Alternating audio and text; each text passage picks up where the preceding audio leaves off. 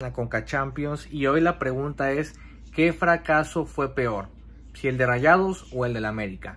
Aquí creo que claramente el del América ha sido más fracaso porque realmente Monterrey no necesitaba esta CONCACAF, no le iba a dar más que esos 15 millones y ir a la Intercontinental que es el nuevo nombre del antiguo Mundial de Clubes.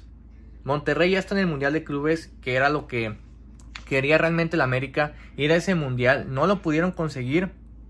Monterrey está, entonces sí, el fracaso del América es mucho mayor porque ellos estaban ilusionados con esa posibilidad.